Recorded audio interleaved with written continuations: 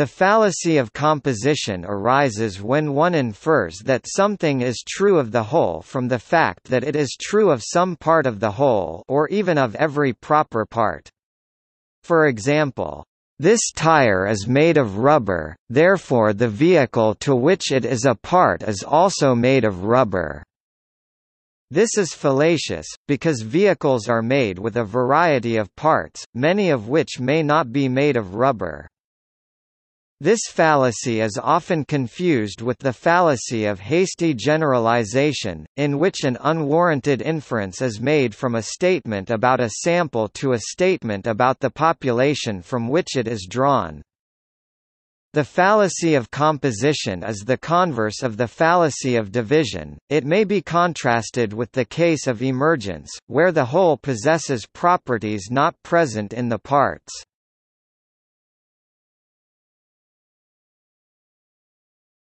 Topic: Examples. No atoms are alive. Therefore, nothing made of atoms is alive. If someone stands up out of their seat at a cricket match, they can see better. Therefore, if everyone stands up, they can all see better. Some people have survived every type of cancer, implying that there are individuals who have had, and have survived, every type of cancer. If a runner runs faster, he can win the race. Therefore, if all the runners run faster, they can all win the race. Athletic competitions are examples of zero-sum games, wherein the winner wins by preventing all other competitors from winning. In voting theory, the Condorcet paradox demonstrates a fallacy of composition. Even if all voters have rational preferences, the collective choice induced by majority rule is not transitive and hence not rational.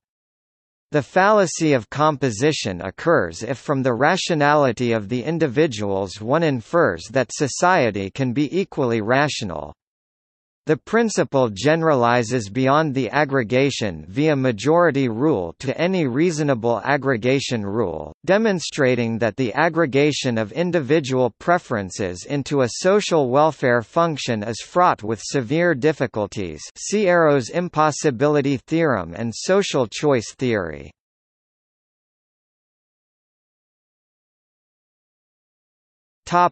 In economics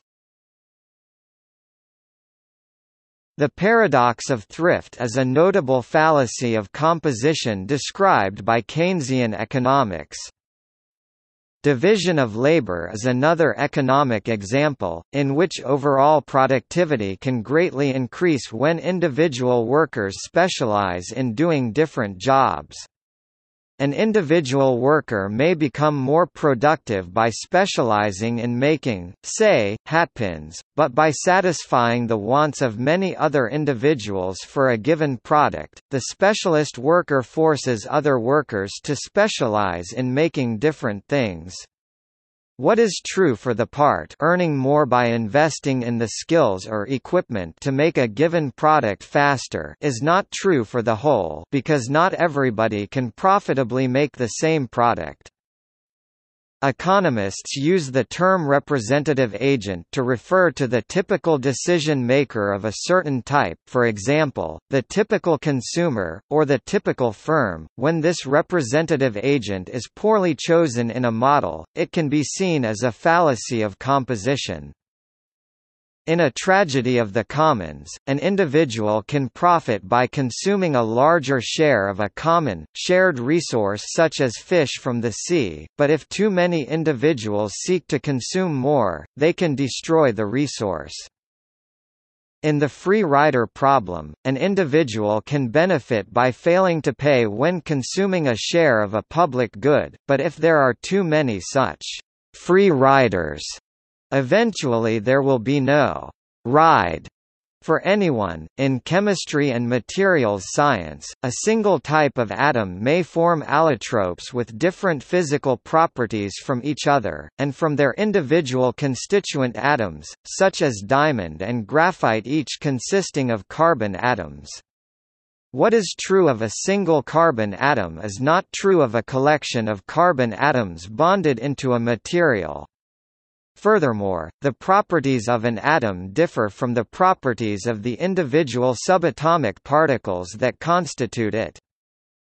In social network theory, a group of humans arranged into a social network can have abilities not possessed by the individual humans making up the network.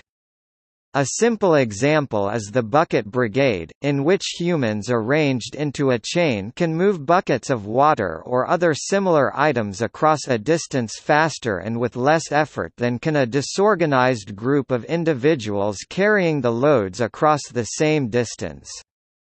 What is true of the part an individual needing to move his or her body across the whole distance to move a load is not true of the whole in which individuals can move loads across the distance merely by standing in place and handing off the load to the next individual.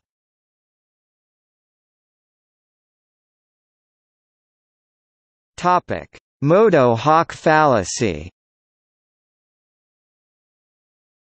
The modo hoc or just this fallacy is the informal error of assessing meaning to an existent based on the constituent properties of its material makeup while omitting the matter's arrangement. For instance, metaphysical naturalism states that while matter and motion are all that compose humans, it cannot be assumed that the characteristics inherent in the elements and physical reactions that make us up ultimately and solely define our meaning. For, a cow which is alive and well and a cow which has been chopped up into meat are the same matter but it is obvious that the arrangement of that matter clarifies those different situational meanings.